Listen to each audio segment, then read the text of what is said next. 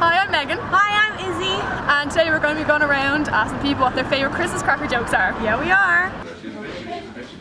What's your favorite Christmas cracker joke? I don't know.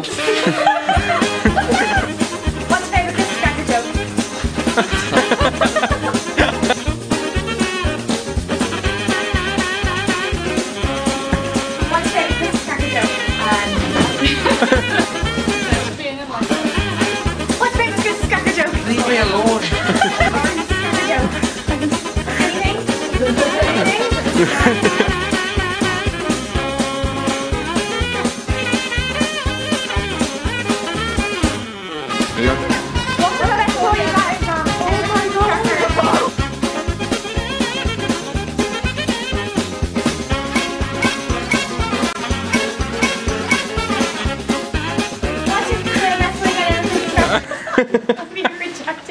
Well, we haven't been very successful.